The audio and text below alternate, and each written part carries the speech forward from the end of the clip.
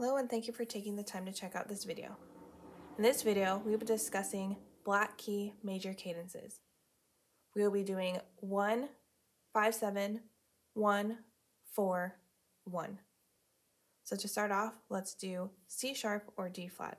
I'm lining up my fingers, five fingers, position, and I play a 1 chord. 5, 3, 1, 1, 3, 5. To go to the 5-7 chord, we always slide down a half step. So the left hand finger 5 will move down to this key, and the right hand finger 1 will move down to this key. To 5, 2, 1, 1, 4, 5, and back to 1 chord. Then we go to 4 chord, so the left hand thumb will always go up a whole step, and the right hand finger 3 will go up a half step, 5 will go up a whole step back to one. Let's do it a little quicker motion.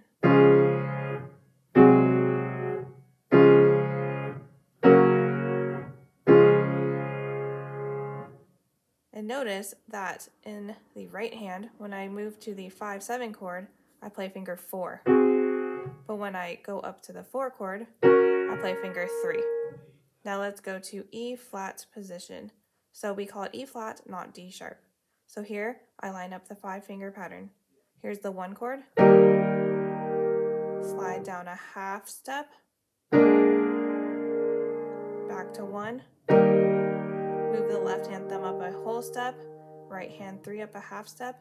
And right hand five up a whole step. And back to one. Here's a little quicker motion.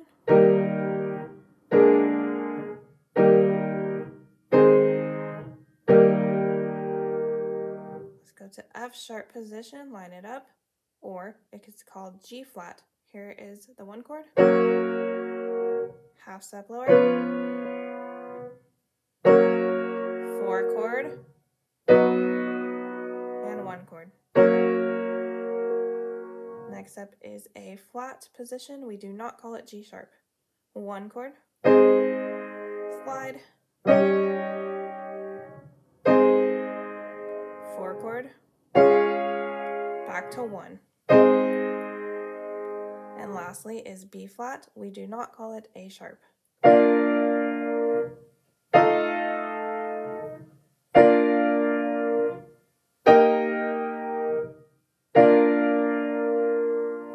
So to recap, we have C sharp or D flat, E flat, F sharp or G flat, A flat, and B flat.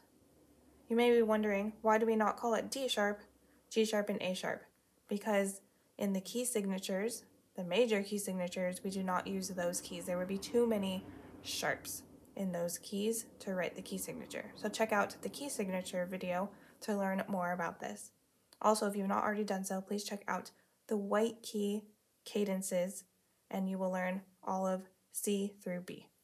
Thank you for checking out this video. We hope this was helpful for you. Leave your comments below and like us.